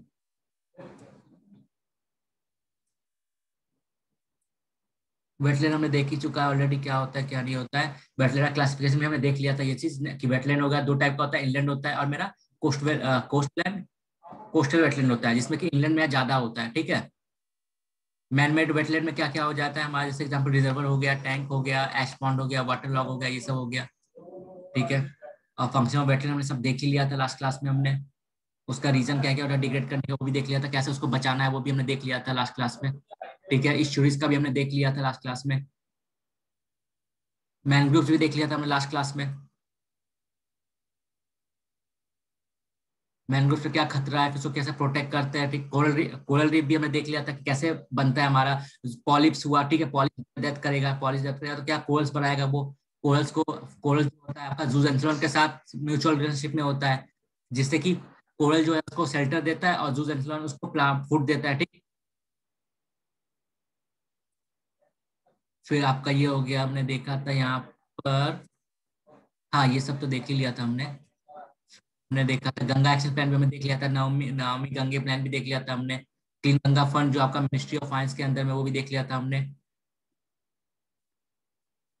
फिर हम लोग स्टार्ट किया था हमने, क्या स्टार्ट किया था? हमने स्टार्ट किया था एक्वेटिक वाला। इन्वायरमेंटल पॉल्यूशन स्टार्ट किया था तो हमने देख लिया था क्या हर पॉल्यूटेंट जो होता है, उसका क्या क्या इफ़ेक्ट होता है, ठीक है? क्लियर हमने देख लिया सब कुछ की मतलब उसका क्या क्या इफ़ेक्ट होता है कहाँ कहाँ से होता है फ्लैश हो, देखा था, ठीक है? फिर हमने देखा था यहाँ पर हेल्थ इफ़ेक्ट भी देख लिया था, हर का, में क्या पॉल्यूटेंट्स होता है, उसका हेल्थ पे क्या क्या पड़ता है हमारा तो ये चार्ट एक बार देख लेना। वैसे तो ऑलरेडी नोट्स के अंदर कवर है, जो भी इंपॉर्टेंट है, ठीक है? तो देखना ज़रूरत भी नहीं पड़ेगा तो ना एक क्वेश्चन एक, एक ये कंफ्यूजन ये होता है हमारा जो जियोलॉजिकल सर्वे ऑफ़ इंडिया जो है ना वो आर्टिकल सर्वे ऑफ़ इंडिया दोनों का हेडक्वार्टर कलकत्ता में है। Zoological zoological survey of India और बॉटनिकल सर्वे ऑफ़ इंडिया दोनों का हेडक्वार्टर कलकत्ता में क्योंकि ये दोनों ब्रिटिश के टाइम में फॉर्म हुआ था हमारा। और जिस टाइम कलकत्ता कैपिटल था इसलिए आज तक लोग का जो हेडक्वार्टर है वो कलकत्ता ही है। उसका हमने क्या देखा था? जो पॉल्यूटेंट्स का क्या मेरा देख लिया था बायोलॉजिकल ऑप्शन देख लिया था ठीक है? उसके बाद हमने ये देखा था कि उसको कंट्रोल मेजर्स कैसे करना है, ये सब सॉइल पोल्यूशन मेनली मोटा मोटे में पॉल्यूटेंट्स जो देख ही लिया है। यहाँ पे हाँ ये सब थोड़ा थोड़ा बचा हुआ है तो यहाँ से स्टार्ट करते हैं। मोटा मोटी आज चैप्टर फाइव हमारा कंप्लीट हो जाएगा। अब बाकी जो छोटा मोटा चैप्टर है उतना ज़्यादा बना नहीं है। ठीक है, ये देखो हाँ। An increase in ammonia in the soil due to decrease in the other nutrition decreases the rate of decomposition मतलब क्या? हम्म। अगर कहीं हमारा सॉइल के अंदर एमोनिया इंक्रीज होता है मेरा हमने जो चार्ट देखा था ना क्या, कि जो ऑक्सीजन हमारा, जो नाइट्रोजन हमारा एटमोसफेयर मिलता है, वो डायरेक्टली यूज़ नहीं करता है प्लांट ठीक है? उसको क्या होता है, पहले वो अमोनिया में कन्वर्ट होता है नाइट्रोजन एटमोस्फेरिक नाइट्रोजन जो हुआ अमोनिया में कन्वर्ट हुआ, ठीक है? उसका कंपेयर होता है नाइट्रेट में होता है, फिर फिर नाइट्रेट में होता है, ठीक है? फिर अल्टीमेटली वो कहीं ना कहीं हमारा प्लांट इसको यूज़ करता है, ठीक? तो an increase in ammonia in the soil due to the decrease in other nutrition decrease the rate of decomposition अगर मान सॉइल को क्या चाहिए? सॉइल को सब कुछ चाहिए, एक बैलेंस डाइट चाहिए। अगर मान लिया जाए अल्टीमेटली उसमें से एक कंपोनेंट को आप बढ़ा देते हो, बाकी को रिड्यूस कर देते हो तो अल्टीमेटली कहीं ना कहीं जो उसका डिकम्पोजिशन है प्लांट का जो नेचुरल प्रोसेस वो इफ़ेक्ट करेगा हमारा। क्लियर जैसे आप मतलब मान लो कि आपका जो प्रोटीन चाहिए मिनरल चाहिए ह्यूमन बॉडी को सब कुछ चाहिए बट अल्टीमेटली आप प्रोटीन न्यूट्रिशन को छोड़ के सिर्फ़ कार्बोहाइड्रेट ले रहे हो तो आपका टोटल जो बॉडी का मेटाबॉलिज्म अफेक्ट करेगा कहीं ना कहीं। ठीक है? अमोनिया बढ़ता है हमारे सॉइल में तो क्या होगा? Nitrate level of the soil is also found to decrease वो भी डिक्रीज करेगा हमारा, क्योंकि सब कुछ डिक्रीज कर रहा है। Impact of acid rain on the soil is less in India अब क्या है कि एसिड रेन क्या होता है? इंडिया के अंदर एसिड रेन का जो इम्पैक्ट होता है सॉइल के ऊपर because Indian soil are mostly alkaline with good buffering ability क्योंकि इंडियन सॉइल एल्कलाइन है मतलब एल्कलाइन का मतलब क्या होता है? वो सात से कहीं ना कहीं उसका, वो ज़्यादा है। क्लियर है? इसी, इसीलिए हाँ इसीलिए क्या कि एसिड का इफ़ेक्ट कम होता है, क्योंकि क्या होता है? वो हमारा उतना एसिडिक हो नहीं पाता क्योंकि हमारा जो सॉइल है ऑलरेडी एल्कलाइन था। अगर हमारा थोड़ा एसिडिक भी होता है तो उतना इफ़ेक्ट नहीं करेगा हमारा, ठीक है? तो optimal pH for most bacteria and protozoa nearly neutral optimal pH value for most of bacteria and protozoa really neutral मतलब सेवन होता है, ठीक है? उनका most prefer an acidic environment ज़्यादातर फंगी जो होता है एसिडिक इन्वायरमेंट को प्रीफर करता है, ठीक है? Most blue green algae prefer alkaline environment उनको ब्लू ग्रीन एल्गी को कैसा चाहिए? एल्कलाइन इन्वायरमेंट चाहिए, ठीक है? क्लियर है यहाँ तक? अब वो ज़रूरी भी नहीं है इतना। Lime help in reducing the mercury level in fishes अब देखो, मैंने क्या बताया था? हमने देखा था Minamata disease Minamata disease Minamata disease बताओ, किस चीज़ से रिलेटेड है? किससे कारण होता है मिनी माटा डिज़ीज़ हाँ? किस किस किस पर्टिकुलर किस एलिमेंट कारण होता है? हमने देखा था ना, कैडबरी के साथ इटाई इटाई होता है, और फिर आउच आउच होता है। हाँ उससे उससे पहले हमने मिनी माटा देखा था। ये मेनली क्या होता है? हाँ? मरकरी के कारण होता है, ठीक है? हाँ हाँ। तो अब क्या होता है कि एक्वाटिक में मरकरी आ गया तो उसको रिड्यूस करने के लिए क्या होता है? हम लोग लाइम का यूज़ करते हैं, ठीक है? देखो lime help reducing the mercury level in fish ठीक है? मतलब क्या एक्वेटिक लाइफ में अगर मर्करी का लेवल ज़्यादा हो चुका है तो हम अगर उस पानी के अंदर लाइम मिलाते हैं लाइम ऐड करते हैं हम लोग, ठीक ना? तो उसके कारण क्या होगा कि हमारा जो मर्करी का लेवल है, कहीं ना कहीं रिड्यूस हो जाएगा वाटर लेवल के अंदर वाटर बॉडी के अंदर तो मिनिस्ट्री ऑफ़ ये चीज़ हमने पहले भी देखा है। हमने क्या देखा था कि मेरा जो ministry of environment develop the criteria of catalysing the industrial sector and industrial sector जो होता है on the basis of pollutants या pollution level ministry of environment ने क्या किया है? उस हर इंडस्ट्री को कैटेगराइज कर दिया क्या? रेड में, जो बहुत ज़्यादा डेंजर है ऑरेंज में ग्रीन में व्हाइट में। अगर आपका इंडस्ट्री व्हाइट कैटेगरी में आता था कोई परमिशन लेने का ज़रूरत नहीं है, क्योंकि वो आपका लेस पॉल्यूशन मतलब बिल्कुल पॉल्यूटेड नहीं है, ठीक है? Based on the pollution index ठीक है? ये क्या हुआ? मिनिस्ट्री ऑफ़ इन्वायरमेंट ने क्या किया? इंडस्ट्रीज़ को on the basis of pollution index उसने ये चार पार्ट में डिवाइड किया है। ठीक है? हाँ। Hazardous waste generated and consumption of resources के बेसिस पे किया है। क्या क्या हुआ है? पॉल्यूशन इंडेक्स के बेसिस पे किया इसमें कि एयर पॉल्यूशन कितना रिलीज़ करता है, वो वाटर पॉल्यूशन कितना रिलीज़ करता है, वो ठीक है। फिर हजारियस वेस्ट कितना जनरेट करता है, उसके हिसाब से ठीक है। तो पॉल्यूशन इंडेक्स जो होता है, वो मेन क्या है? किसी भी सेक्टर इंडस्ट्री का एक से ज़ीरो से हंड्रेड तक होता है, ठीक? Increasing pH increasing value of P I denote the increasing degree of pollutants अब देखो, कोई इंडस्ट्री है, ठीक ना? अगर मान लो को आपको दस पॉइंट मिला है ठीक है? कोई इंडस्ट्री मान लो उसको चालीस इंडेक्स में रैंक मिला है नंबर मिला है। इसका मतलब क्या है? चालीस वाला ज़्यादा पॉल्यूटेंट है आपका ठीक है? दस वाला कम पॉल्यूटेंट है आपका ठीक है? तो ये हो सकता है दस वाला व्हाइट में आ जाए और चालीस वाला आपको हो सकता है क्लियर है? यहाँ तक। हम्म, देखो ये भी है। Most of the renewable source of energy fairly non polluting मैंने क्या बोला? आपका जो रिनेबल सोर्स ऑफ़ एनर्जी होता है लाइक सोलर एनर्जी हो गया वाटर हाइड्रो पावर प्लांट हो गया आपका ठीक है? उसके बाद फिर आपका विंड टर्बाइन हो गया, वो क्या होता है कि most of the renewable source of energy अब यहाँ पे याद रखना most of the not all ठीक है? Most of the renewable source of energy are fairly non polluting and considered clean but biomass though a non renewable energy is a major source of indoor pollutants अब देखो, ज़्यादातर मैंने क्या बोला, ज़्यादातर जो हमारा रिन्यूएबल सोर्स ऑफ़ एनर्जी होता है, वो क्या? नॉन पॉल्यूटिंग और क्लीन होता है। लेकिन बायोमास वो नन हमारा बायोमास जो है, हमारा रिन्यूएबल एनर्जी होते हुए भी वो इंडोर पॉल्यूटेंट्स में कंट्रीब्यूट करता है। क्लियर है? ये याद रखना है बस। इसमें कुछ ज़्यादा मतलब बड़ा बहुत इजी लैंग्वेज मैंने मतलब पूरा पीडीएफ करके सेट करके रखा है कि मतलब आप खुद से ही पढ़ के आप समझ सकते हो। इसमें ज़्यादा एक्सप्लेन करने के लिए कुछ है नहीं। अब सोलर एंड सोलर सेल जो होता है, वो क्या करता है आपका? DC converted to alternate current solar cell में क्या होता है आपका? डीसी जो होता है एसी में कन्वर्ट होता है। क्लियर है? With the use of inverter clear है? इंटरनेशनल रिन्यूएबल एनर्जी कहाँ पर एजेंसी कहाँ पे आपका? ये एक, इसका हेडक्वार्टर अबू धाबी में ठीक है? इंटरनेशनल रिन्यूएबल एनर्जी एजेंसी कहाँ पे आपका? 150 मेंबर्स है इसका हेडक्वार्टर अबू धाबी में ठीक है? मेनली काम वही करता है कि इंटरनेशनली इंटरनेशनली क्या करता है? ये रिन्यूएबल एनर्जी को प्रमोट करने काम करता है। गुजरात है the maximum potential for wind energy ठीक है? अब क्या करेंगे दो चीज़ होता है। एक होता है पोटेंशियल एक होता है क्या? कैनेट मतलब एक बार पोटेंशियल क्लियर है? जैसे एग्ज़ाम्पल कि मतलब कैसे मान लिया जाए कि हाँ जैसे मान लो कोई क्रिकेटर है, ठीक है, उसका पोटेंशियल एक अच्छा बैट्समैन बन सकता है, ठीक है, लेकिन वो है नहीं अभी प्रेजेंट में, ठीक? अब वही दूसरा तरफ़ है जो कि ऑलरेडी एक अच्छा बैट्समैन है क्लियर है? तो वही होता है गुजरात के पास क्या अच्छा मतलब maximum potential of wind energy produce करने का मैक्सिमम पोटेंशियल है गुजरात के पास, लेकिन रियलिटी में सबसे ज़्यादा हाईएस्ट कैपेसिटी कहाँ पर इंस्टॉल्ड है आपका तमिलनाडु में क्लियर तो विंड एनर्जी के लिए यही तो एरिया फ़ेमस है हमारा। गुजरात के पास मैक्सिमम पोटेंशियल है, और तमिलनाडु के पास आपका मैक्सिमम कैपेसिटी है। ठीक है, अब मैंने क्या बताया था कि जैसे इंडिया रहा है, ठीक है, ये रहा इंडिया मेरा।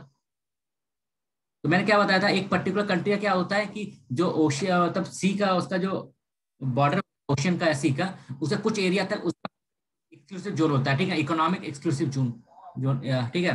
तो मेनली क्या होता है आपका 200 नॉटिकल माइल तक ये अपना होता है, ठीक है। तो इसको याद रखना है डेटा को, कि 200 नॉटिकल माइल तक मेरा क्या होता है ईजेड होता है किसी भी कंट्री का। एक्सक्लूसिव इकोनॉमिक जोन मतलब वहाँ पे सिर्फ़ वही वो कर पाएगा अपना एक्सप्लोटेशन जो हाँ उसका मेरा क्या है? ओशियन थर्मल एनर्जी कन्वर्जन इसमें क्या होता है? इसमें क्या होता है? देखो, अब सिंपल सा बात है ओशियन का क्या होता है? वाटर जो होता है, आपका थर्मल एनर्जी डिफरेंसेस होता है उसके अंदर में, ठीक है? दिन के अलग अलग टाइम में। तो इस तो इसके अंदर हम लोग क्या करते हैं? Use temperature difference between the surface of the oxygen and the depth about hundred meter मैंने क्या बताया था? ऊपर का जो लेयर होता है ऑक्सीजन मान लो कि ये मेरा ठीक? ऊपर का जो लेयर होता है वो मेरा गर्म होता है, ठीक है? ज्योग्राफी के अंदर हमने ये चीज़ देखा था, ठीक है? लेकिन जो नीचे का पानी होता है, कहीं ना कहीं कोल्ड होता है आपका, ठीक है? ये ऐसे ऐसे होते रहता है, हमने देखा था क्लियर है? हाँ। तो अब होता क्या ये अब इसके अंदर हम लोग क्या करते हैं ओशन थर्मल एनर्जी कन्वर्जन क्या करते हैं, हम लोग ये जो डिफरेंसेस होता है ना, पानी के टेम्परेचर का, इसका यूज़ हम लोग कहीं ना कहीं इलेक्ट्रिसिटी प्रोड्यूस करते हैं। समझ में आया क्या बोल रहा हूँ मैं? हाँ? ठीक है, ये रहा, ऊपर में सरफेस टेम्परेचर आपका ज़्यादा रहता है, नीचे में कम रहता है तो इस सरफेस मतलब ये जो टेम्परेचर डिफरेंस होता है, इसका यूज़ लोग इलेक्ट्रिसिटी जनरेट करते हैं। इलेक्ट्रिसिटी जनरेट करते हैं electricity uses temperature uses temperature difference between the surface of the ocean and the depth of ocean to operate at engine which produce electric energy clear है? Waves result from the interaction of wind with the surface of the sea. And represent transfer of energy from the wind to the sea हमने क्या देखा था? हमने ये चीज़ detail में geography के पढ़ा हुआ है ठीक है? इसे मैंने बोला ना ज्योग्राफी जो होता है वो एनवायरमेंट कहीं ना कहीं सेम वो है ठीक है? उसको अलग अलग करके नहीं देख सकते हो। कहीं ना कहीं दोनों यूनाइटेड है। एक दूसरे का कॉन्सेप्ट मतलब मतलब बहुत ज़्यादा वो होता है ओवरलैप होता है यहाँ पे। तो अब क्या कि वेव वे, आप वो जो वेव हो रहा है आपका ठीक ना? उस वेव से भी प्रोड्यूस कर सकते हो आप एनर्जी ठीक? तो इंडिया में पहला वेव एनर्जी प्रोजेक्ट कहाँ पे सेटअप हुआ है? त्रिवेंद्रम में हुआ है ठीक है? तो tidal wave power project in ये हंसलक क्रिक कहाँ पे गल्फ ऑफ़ कच्छ में हुआ? टाइटल वेव क्या होता है? टाइड एनर्जी जो होता है ना आपका अप डाउन का उसका यूज़ करके इलेक्ट्रिसिटी प्रोड्यूस करते हैं ठीक है? तो यहाँ पे एक तो चीज़ ये ये हो गया कि टाइडल एनर्जी क्या होता है? टाइडल वेव से कैसे एनर्जी प्रोड्यूस होता है? तो ऐसे हाई टाइड और लो टाइड का यूज़ करते हैं हम दूसरा चीज़ क्या है यहाँ पे इंपॉर्टेंट कि हथकल क्रिक कहाँ पे मेरा गल्फ ऑफ़ कच्छ में गुजरात में क्लियर अब देखो मैंने क्या बताया ऊपर में कि आ, मेरा जो बायोमास है, ठीक ना? उसको हम लोग क्या कहते हैं? रिन्यूएबल एनर्जी कहते हैं। बायोमास को हम लोग रिन्यूएबल एनर्जी कहते हैं, ठीक? क्लियर है? तो इसको रिन्यूएबल एनर्जी क्यों कहते हैं? Burning biomass releases about the same amount of carbon dioxide as burning fossil fuels however fossil fuels release carbon dioxide captured by photosynthesis over formation year अब देखो जैसे ये हो गया। अब क्या होता है? बायोमास को जलाना और फॉसिल फ्यूल्स को जलाना। दोनों में क्या होता है आपका? कि आपका कार्बन डाइऑक्साइड तो रिलीज़ होता है, लेकिन फॉसिल फूल जैसे हो गया कि जैसे मान लो कोयला है, ठीक ना? कोयला में क्या है कि हज़ारों साल से कार्बन कहीं ना कहीं कैप्चर्ड है तो उसको अगर आप कहीं ना कहीं जला कार्बन एक सेकंड भैया।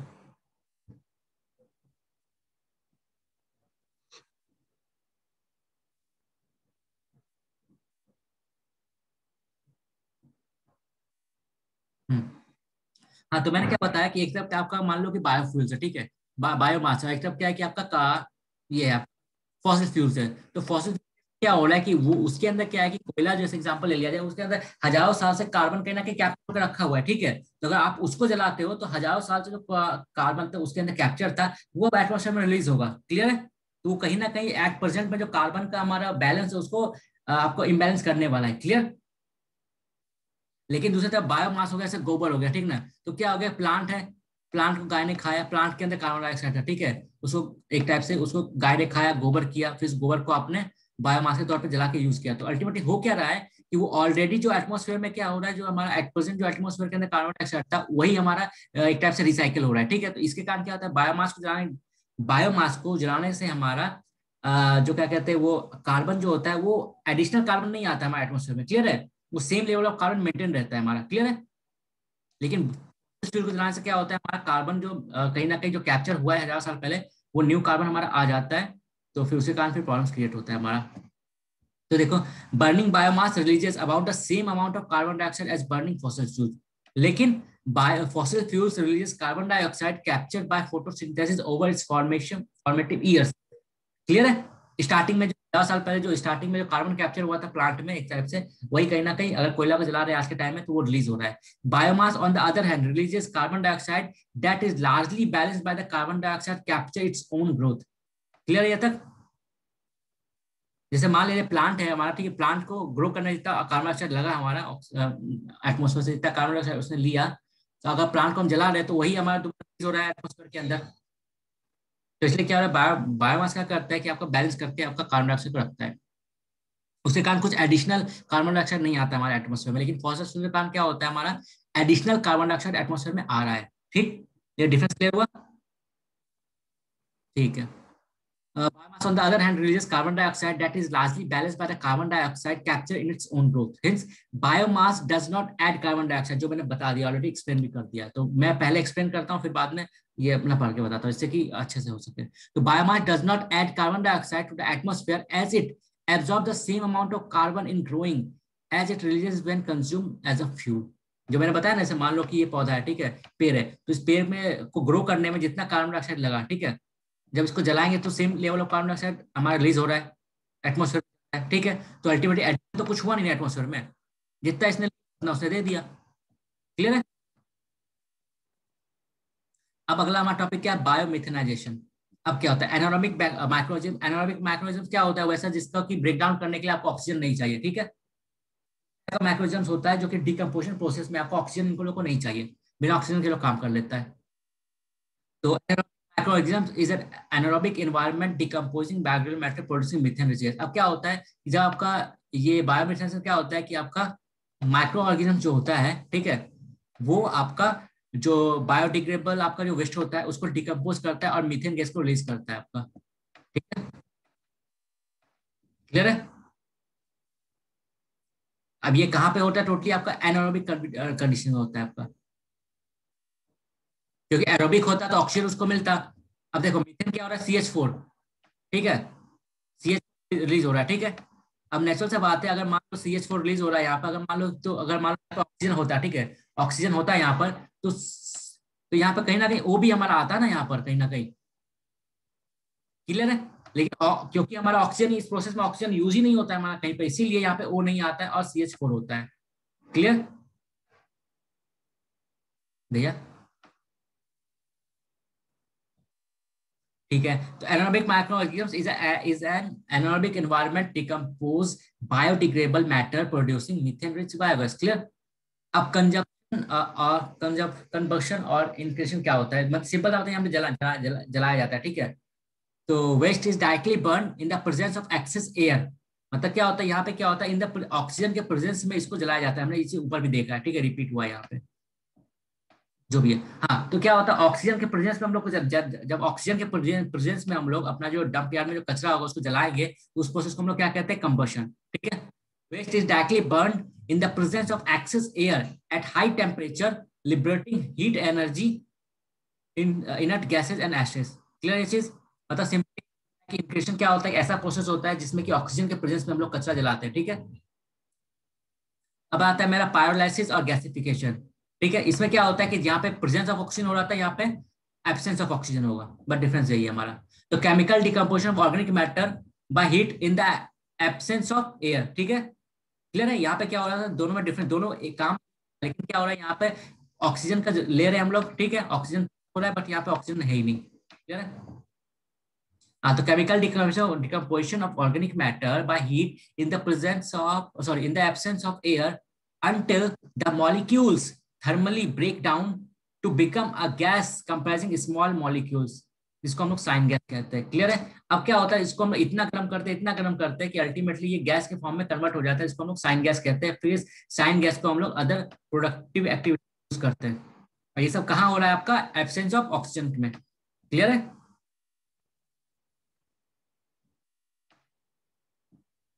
ठीक है? तो गैसिफिक can also take place as a result of partial combustion of organic matter. मतलब वही है, उस प्रोसेस को हम लोग गैस पर कन्वर्ट कर रहे हैं, उसको अल्टीमेटली और वही हम लोग कह रहे हैं गैस द गैस सोफर इतना इतना देखो हाँ। Gasification can also take a place in partial combustion organic matter in the presence of restrict quality of oxygen अब क्या कि ये सेम प्रोसेस क्या है कि अगर सेम प्रोसेस में हम लोग थोड़ा सा ऑक्सीजन इंट्रोड्यूस कर देते हैं ना तो उस प्रोसेस को हम लोग क्या कहेंगे? गैसिफिकेशन कहेंगे। और उस सिचुएशन में जो गैस प्रोड्यूस होगा, उसको हम लोग क्या कहेंगे? प्रोड्यूसर गैस प्रोड्यूसर गैस का भैया फॉर्मूला क्या है एन प्लस ओ होता है ना? हाँ एनओ होता है ना? या एसओ होता है। खैर जो भी हो, नाम इम्पोर्टेंट नहीं है। अब को जनरेशन में ऊपर ही देख चुका है क्या? कि भैया ऐसा टाइप का प्रोसेस जिसमें कि दो टाइप का एनर्जी प्रोड्यूस होता है, दोनों को हम लोग यूज़ करते हैं अलग अलग पर्पज के लिए। तो producing two form of energy from one fuel हमने क्या थर्मल पावर का एग्ज़ाम्पल लिया था, कोयला तो क्या हो रहा है, उससे हमारा हीट एनर्जी प्रोड्यूस हो रहा है और इलेक्ट्रिसिटी प्रोड्यूस हो रहा है हमारा। लेकिन हम लोग क्या हो हीट एनर्जी को वेस्ट कर दे रहे हैं। तो producing two form from one fuel one of the form of energy must always be heat इसमें क्या होता है, हमेशा एक फॉर्म ऑफ़ हीट रहेगा एंड अदर में भी इलेक्ट्रिसिटी और मैकेनिकल एनर्जी ठीक है? अब देखते हैं फ्यूल सेल जो ऑटोमोबाइल ट्रांसपोर्ट में जो फ्यूल सेल यूज़ होता है हमारा उसको क्या होता है? उससे हम लोग का कार्बन डाइऑक्साइड और वेपर ओनली इमिशन मतलब फ्यूल सेल हम लोग यूज़ करते हैं ना फ्यूल सेल जो यूज़ करते हैं तो उसका बाय प्रोडक्ट होता है ना बाय प्रोडक्ट सिर्फ़ कार्बन वाटर वेपर ही होगा बस। यही दो खाली वेस्ट होता है, उससे निकलता है और कुछ नहीं। क्लियर है यहाँ हम्म। तो आर एन ट्वेंटी वन क्या होता है? एक ऐसा ग्रुप है हमारा global renewable energy policy multi stakeholder network that connect wide range of की मतलब क्या देखा ग्लोबल प्लेटफॉर्म है जहाँ पर आपका रिन्यूएबल एनर्जी से रिलेटेड पॉलिसी वगैरह फॉर्म तो यहाँ पे क्या है अदर अदर कंट्रीज़ गवर्नमेंट्स हो गया इंटरनेशनल ऑर्गेनाइजेशन हो गया इंडस्ट्रीज़ हो गया एकेडमिक हो गया आके बैठता है बैठता है, बातचीत करता है और डिसाइड करता है या फिर डिस्कस करता है कैसे हम लोग रिन्यूएबल एनर्जी को प्रमोट कर सकते दुनिया भर में, ठीक है? यहाँ तक क्लियर हाँ। तो अब क्या होता है इंडिया में क्या होता है, हम लोग पाम ऑयल बहुत यूज़ करते हैं, ठीक है? लेकिन बात ये होता है इंडिया में पाम ऑयल का है प्रोडक्शन होता नहीं हमारा, ठीक है? तो वर्ल्ड के अंदर जितना पाम ऑयल प्रोड्यूस होता है ना, उसका उसका 87 परसेंट जो होता है, वो अकेला इंडोनेशिया और मलेशिया प्रोड्यूस करता है, ठीक? वर्ल्ड में जितना भी पाम ऑयल का प्रोडक्शन होता है, उसका 87 परसेंट जो प्रोडक्शन है, वो मलेशिया और इंडोनेशिया से होता है। इसी पाम ऑयल के प्रोडक्शन के कारण पूरा का पूरा रेन फॉरेस्ट जो इंडोनेशिया मलेशिया में, वो पूरा का पूरा साफ़ हो रहा है।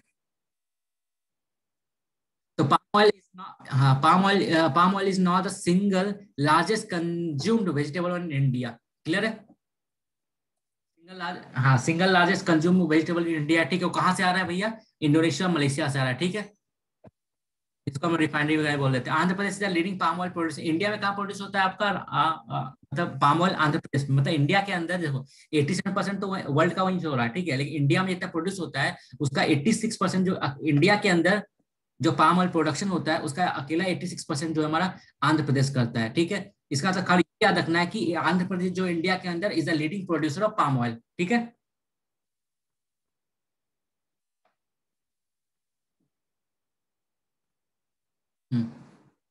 इन्वायरमेंटल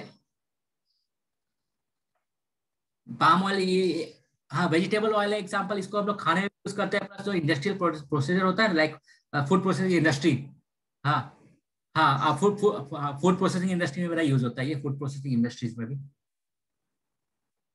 हाँ। तो environmental impact assessment of developmental project देखो, अब मैंने क्या बताया था आपका कि एक मेरा 1986 में जो एक्ट पास हुआ था इन्वायरमेंटल प्रोटेक्शन एक्ट इसमें एक इंपॉर्टेंट चीज़ है क्या कि हर प्रोजेक्ट से पहले आपको इन्वायरमेंटल इंपैक्ट असेसमेंट करवाना पड़ेगा। मतलब क्या जो प्रोजेक्ट बनाने वाले हो, उसका इकोनॉमिकल इंपैक्ट क्या पड़ेगा? ठीक है, उसका सोशल इंपैक्ट क्या पड़ेगा?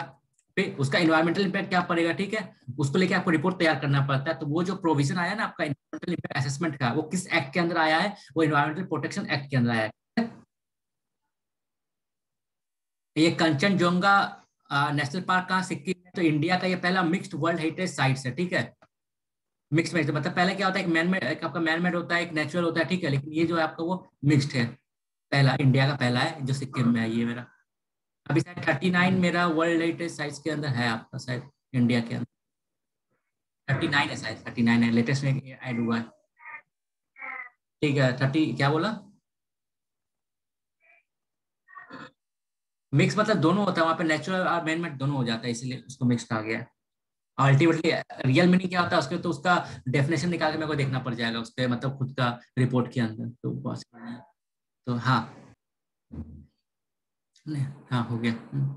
हाँ तो मेरा ये हो गया कि सिक्किम जो पहला मिक्स है आपका, ठीक है? उसका क्या इन्वायरमेंट मिनिस्ट्री क्या है कि परिवेश नाम का एक न्यू साइट लॉन्च किया था, ठीक है? इसके थ्रू कोई भी अगर आपका इन्वायरमेंटल मैनेजमेंट सिस्टम एक टाइप ठीक है? अगर मान लो कुछ भी इन्वायरमेंटल इन्फॉर्मेशन चाहिए या कुछ भी डेटा इकट्ठा करना हो, चाहे जो भी हो तो एक single window indicated environmental management system launch किया इसका नाम था परिवेश, ठीक है? इसको ऐसे याद रखना है। ठीक है biodiversity exist at three level genetic species and ecosystem ये तीन लेवल पे होता है मेरा, ठीक है? जेनेटिक लेवल पे भी बायोडाइवर्सिटी होता है मतलब जेनेटिक वेरिएशन हो गया, ठीक है? उसका क्या होता है स्पेसिस वेरिएशन होता है। उसका क्या होता है मेरा अल्टीमेटली लास्ट में इकोसिस्टम वेरिएशन मेरा होता है। तो मैं जो बायोडाइवर्सिटी करता है, वो तीन लेवल पे करता है, कहा? जेनेटिक स्पेसिस और इकोसिस्टम लेवल पे क्लियर है? Building block of plants and animals and humans identical में क्या होता है? जो प्लांट हुआ, चाहे एनिमल्स हुआ, चाहे ह्यूमंस हुआ, उनका जो बिल्डिंग ब्लॉक है एग्ज़ाम्पल जो हमारा कार्बन हो गया ऑक्सीजन हो गया नाइट्रोजन हाइड्रोजन ये सब में कॉमन है, ठीक ना? And are made of four elements building block of plants animals and humans are identical and are made up of four elements चार एलिमेंट क्या क्या है? कार्बन ऑक्सीजन नाइट्रोजन हाइड्रोजन ये चारों चीज़ कॉमन है सब में. क्लियर है? हाँ कंफ्यूज करने के लिए कुछ एक दो एलिमेंट डाल देगा कि मिथेन हो गया अमोनिया का सब साइज़ का तो याद रखना मेरा ये है। उसका क्या आयुसीएन आयुसीएन कहाँ पे इसका हेडक्वार्टर इंटरनेशनल आयुसीएन हेडक्वार्टर का स्विट्जरलैंड में, ठीक है? तो आयुसीएन क्या काम करता है आपका? ये रेड डेटा बुक पब्लिश करता है। रेड डेटा बुक क्या होता है एक टाइप से? इसके अंदर ये होता है कौन सा एनिमल है, कौन सा प्लांट है, जिसका आपका जो प्रोडक्टिव उसको प्रोटेक्शन चाहिए, ठीक है? लिस्ट इंडेंजर्ड हो गया आपका, ठीक है? इंडेंजर्ड हो गया क्रिटिकली इंडेंजर्ड हो गया थ्रेटन हो गया, ठीक है? इस टाइप से करता है कि किसको कितना प्रोटेक्शन चाहिए, कितना, किसके ऊपर कितना खतरा मंडरा रहा है? ठीक है? आयुषेन एक रेड डेटा बुक पब्लिश करता है, इसमें ये बताता है किस जानवर या किस प्लांट के ऊपर कितना खतरा मंडरा रहा है, ठीक है? तो इसके अंदर क्या होता है पिंक पेज होता है। Pink page this publication include the critically endanger species तो याद रखना क्या है कि पिंक पेज जो होता है, वो क्या क्या शो करता है? हमारा क्रिटिकली इंडेंजर्ड स्पेसिस को शो करता है, ठीक है? अब देखो, ऐसा होता है जैसे एग्ज़ाम्पल मान लिया जाए, ये रहा मैं वनरेबल ठीक है? तो मतलब जो वनरेबल स्पेसिस होता है, वो क्या होता है? वो आपका खतरे में होता है, ठीक है? लेकिन इससे इससे इससे ज़्यादा जो खतरे में जो होगा, उसको हम लोग क्या कहेंगे? इंडेंजर्ड स्पेसिस ठीक है? वैसा ऐसा कम्युनिटी ऐसा ग्रुप या ऐसा स्पेसिस ऑफ़ एनिमल्स जो कि खतरे में होगा, उसको हम लोग वर्नेबल बोलेंगे किसके ऊपर तलवार लटक रहा है, ठीक? लेकिन उससे ज़्यादा खतरे में जो होगा, उसको हम लोग इंडेंजर्ड बोलेंगे। उससे ज़्यादा खतरे में जो होगा, उसको क्रिटिकली इंडेंजर्ड बोलेंगे, ठीक है? और लास्ट में जो पूरा खत्म हो चुका होगा, उसको हम लोग क्या बोलेंगे? एक्सेंट है ही नहीं वो। ठीक क्लियर है? तो क्या पिंक पेज शो करता है क्रिटिकली इंडियन स्पेसिस को शो करता है। Green page are used for those species which they are टेवर form endanger ठीक है? But not recover to point हाँ देखो देखो मैंने क्या है कि पिंक पेज देख लिया हमने तो इसमें ग्रीन पेज भी होता है। ग्रीन पेज क्या शो करता है टाइप से कि ऐसा मतलब एनिमल्स या स्पेसिस या प्लांट का स्पेसिस का लिस्ट होता है, उसके अंदर नाम होता है, जो कि एक में इंडेंजर्ड था। ठीक ना? एक टाइम में इंडेंजर्ड था, लेकिन अब वो इंडेंजर्ड नहीं है क्योंकि उसने रिकवर कर लिया है। क्लियर अब देखते हैं वर्नेबल कौन कहलाता है मेरा। तो मैंने बताया वर्नेबल कौन सा स्पेसिस होगा? ठीक है, जिसका पॉपुलेशन में फिफ्टी परसेंट डिक्लाइन हुआ लास्ट दस ईयर में। क्लियर है? वैसा स्पेसिस वैसा स्पेसिस जिसका की पॉपुलेशन लास्ट दस ईयर में फिफ्टी परसेंट से कम हो गया, ठीक है? उसको वर्नेबल में आएगा, ठीक है? पॉपुलेशन साइज़ जिसका की दस हज़ार से कम है। क्लियर है? तो जो मैंने क्या बोला है वर्नेबल के बाद क्या होता है? इंडेंजर होता है। इंडेंजर का क्या होता है? इसका जिसका पॉपुलेशन लास्ट दस ईयर में सत्तर परसेंट डिक्लाइन कर दिया, ठीक है? इसका पॉपुलेशन साइज़ क्या है कि ढाई सौ से कम, इसका मतलब मेच्योर इसका ज़िंदा है। क्लियर है? एडल्ट मतलब। क्रिटिक उसका क्या होता है? इंडेंजर से भी ज़्यादा खतरे में कौन है? क्रिटिकली इंडेंजर्ड इसका क्या होता है कि 10 साल में 90 परसेंट इसका पॉपुलेशन डिक्लाइन हुआ है, ठीक है? और जिसका कि मैच्योर पॉपुलेशन जो है मैच्योर पर्सन जो है, वो या फिर मैच्योर एनिमल जो कितना फिफ्टी से ज़्यादा है, कम है, ठीक है? ये तीनों चीज़ क्लियर हुआ? वन लेवल फिफ्टी से आपका पॉपुलेशन फिफ्टी पचास परसेंट पॉपुलेशन हाँ क्लियर है परसेंटेज और ये थोड़ा नंबर याद वही है दस हज़ार से ढाई सौ, ये तो ऐसे भी रफली याद हो ही जाएगा। लेकिन कंफ्यूज करने के लिए पाँच सौ दे सकता है यूपीसी वाला। बस बात वही है। फिर डाइवर्सिटी हम लोग देख लेते हैं। डाइवर्सिटी में हमने देखा है ऑलरेडी क्या अल्फ़ा डाइवर्सिटी मेरा क्या होता है? Diversity within a particular area of ecosystem and is usually express by the number of species in that ecosystem मान लो ये इकोसिस्टम ठीक मेरा? इसके अंदर क्या होता है? बहुत सारा हमारा डायवर्सिटी रहता है हमारा, ठीक है? तो डाइवर्सिटी मान लो कि सॉल्ट ले गए। यहाँ पे क्या होता है कि आपका पंजाबी रह रहा है, यहाँ पे गुजराती रह रहा है, यहाँ पे सिंधी रह रहा है, ठीक है, यहाँ पे बंगाली रह रहा है, यहाँ पे बिहारी रह रहा है, ठीक है, यहाँ पे मारवाड़ी रह रहा है, ठीक है। तो मतलब क्या एक पर्टिकुलर इकोसिस्टम के अंदर डायवर्सिटी जो होता है, उसको हम लोग क्या कहते हैं अल्फ़ा डायवर्सिटी ठीक है। Diversity within a particular area और ecosystem and is usually express by the number of species in that ecosystem clear है? इस एग्ज़ाम्पल से। बेटा डायवर्सिटी क्या होता है? Comparison of diversity between the ecosystem अगर मान सॉल्ट ठीक ना? सॉल्ट ये रहा तो हमारा ग्रीस पार्क आज एबसेंट है वैसे। तो मान लो ग्रेस पाक रहा है ठीक है तो ग्रेस पार्क में मान लिया यहाँ पे भी पंजाबी है, यहाँ पे बिहारी है, यहाँ पर भी यूपी है, यहाँ पर भी मरवाड़ी है, यहाँ पर भी बंगाली है, यहाँ पर भी सिंधी है, ठीक? तो इसके और इसके बीच में जब कंपेयर करेंगे हम लोग तो ये मेरा क्या कहलाएगा बेटा? डायवर्सिटी ठीक है? और इसके अंदर एक दूसरे को कंपेयर कर लेते हैं एक सेम के अंदर एक दूसरे से कंपेयर करेंगे अलग अलग स्पेसिस को तो कहलाएगा मेरा अल्फ़ा क्लियर हाँ देखो हाँ। Comparison of diversity between ecosystem usually measure as a change in amount of species between the ecosystem, ठीक है? गामा क्या measure the overall diversity of all for the different ecosystem within the region अब मान लो ये ये क्या है कि आपका ग्रेस पार्क हो गया, चाहे ये होगा ये कहाँ पर है आपका? कोलकाता में, ठीक है? अल्टीमेटली अगर पूरा कोलकाता का हम लोग देखेंगे कि कहाँ पर आपका कितना कितना पंजाबी, कितना बिहारी, कितना गुजराती है तो अल्टीमेटली वो जब देखेंगे तो वो क्या कहलाएगा आपका? गामा डाइवर्सिटी ठीक है? क्लियर है? अब अब क्या होता है जब प्रोटेक्शन हाँ क्या हुआ? देखो। अरे कुछ नहीं, देखो देखो। अल्फ़ा होता है, ठीक है? अल्फ़ा मतलब खुद के खुद के अंदर, ठीक है? बीटा मतलब एक, इसके, एक दूसरे के साथ कंपेयर करना। जैसे अल्फ़ा ये हो गया, जैसे मान लो ये आदमी रहा, ठीक ना? अगर मान लो ये एरिया है तो यहाँ पे ये इसके साथ, ये इसके साथ, ये इसके साथ है, ठीक है? रहेगा कंपेयर होगा इसके साथ। बीटा में क्या होता है कि अल्फ़ा अलग अलग जो डायवर्सिटी होता है, वो एक दूसरे कंपेयर करेगा। इस एरिया में इतना, इस एरिया में इतना, इस एरिया में कितना है? और गामा जो होगा, उससे बड़ा मतलब वो और बड़ा पिक्चर लेगा। ये सबको एक साथ कंसिडर करके देखेगा। अब हाँ अब क्या होता है, हम प्रोटेक्शन के, जब बात करते हैं एनिमल या प्लांट को प्रोटेक्ट करने के लिए, हमने क्या देखा प्रोटेक्शन क्यों चाहिए? क्योंकि इनका पॉपुलेशन डिक्लाइन कर रहा है वर्नेबल इंडेंजर और क्रिटिकली इंडेंजर तो सिर्फ़ क्लासीफाई करके तो फ़ायदा है नहीं भैया। अगर आपको पता चल गया क्लासीफाई आपने कर लिया है कि इनका पॉपुलेशन डिक्लाइन कर रहा है तो आपको कुछ स्टेप्स भी लेना पड़ेगा ना फर्दर उनका पॉपुलेशन को रोकने के लिए, उनको बचाने के लिए। ठीक है? तो हमारे पास दो मेथड होता है बचाने का। क्या? एक होता है इन सेतु आउट सेतु जैसे मान लिया ये हमारा एरिया ठीक है? अगर मान लो यहाँ पे कुछ हमारा इंडेंजर या मान लो कोई ऐसा प्लांट है, चाहे एनिमल जिसके ऊपर खतरा का निशान हो रहा है तो हमको लग रहा है कि नहीं, इसको बचाना चाहिए। तो हम लोग क्या करेंगे कि अगर मान लो इस पूरे प्रोटेक्टेड एरिया को हमने क्या, इस पूरा एरिया को हमने क्या बोला कि भैया ये जो एरिया पूरा इस एरिया को प्रोटेक्ट करेंगे, ना सिर्फ़ जानवर ठीक है? समझ रहे मतलब? मतलब एरिया को हम प्रोटेक्ट करेंगे विद द प्लांट एनिमल सब कुछ, बाहर पूरा पूरा पूरा बायोडाइवर्सिटी पूरा पूरा जंगल को हम लोग प्रोटेक्ट करेंगे। तो मेरा क्या कहलाएगा? इन सेटू कन्वर्जेशन मतलब क्या उसके नेचुरल इन्वायरमेंट में उसको प्रोटेक्ट कर रहे हैं। मान लो कि हमको यहाँ पे टाइगर है ठीक ना? हमने ये सोचा कि हमको टाइगर को प्रोटेक्ट करना है, ठीक? तो क्या हुआ कि इस पर्टिकुलर एरिया को हमने प्रोटेक्ट करने तो यहाँ पे क्या हो रहा है कि टाइगर के लिए हम लोग क्या कर रहे हैं? टाइगर को प्रोटेक्ट करने के लिए पूरा उसका जो इन्वायरमेंट है, पूरा इकोसिस्टम है, उसको हम प्रोटेक्ट कर रहे हैं, ठीक है? इस क्या कहेंगे इन सेतु क्यों? क्योंकि उसका नेचुरल इन्वायरमेंट उसको प्रोटेक्ट कर रहे हैं, ठीक है? लेकिन अब हमने मान लो कि डिसाइड किया कि नहीं, ऐसा काम करें टाइगर जो है, वहाँ पे खतरा है जंगल में क्या करें टाइगर को हम लोग उठा के लाया, पकड़ के लाया, और उसको फिर एक पर्टिकुलरली हम एक गार्डन में रखते हैं फिर एक जू में रखते हैं, ठीक है?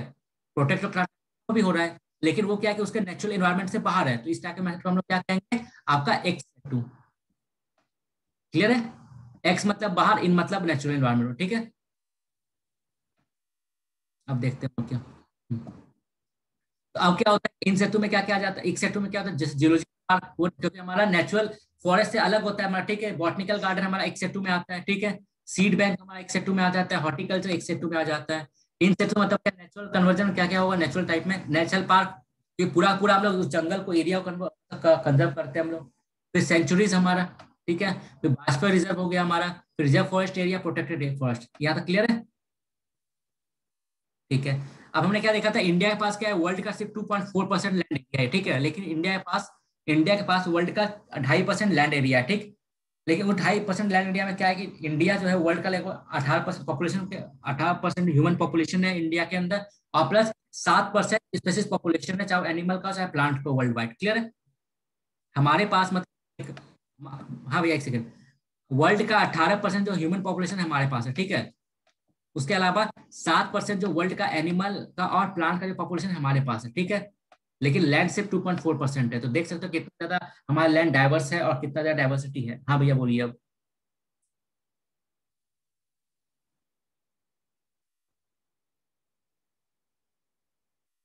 क्या चीज़ क्या चीज़?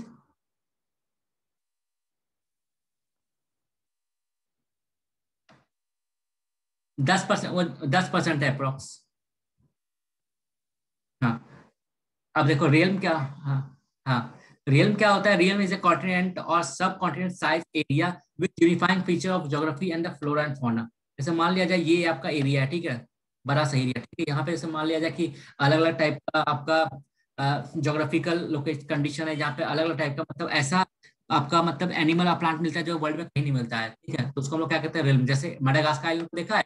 ये रहा मेरा अफ्रीका, ठीक है? यहाँ पे एक छोटा सा आइलैंड है मडागास्कर आइलैंड तो मतलब क्या है कि लगभग सिक्सटी टू सेवेंटी परसेंट ऐसा एनिमल्स यहाँ पे, ऐसा प्लांट हम लोग को मिलता है जो वर्ल्ड में कहीं और नहीं मिलता है। उस टाइप के हम लोग क्या बोलते हैं?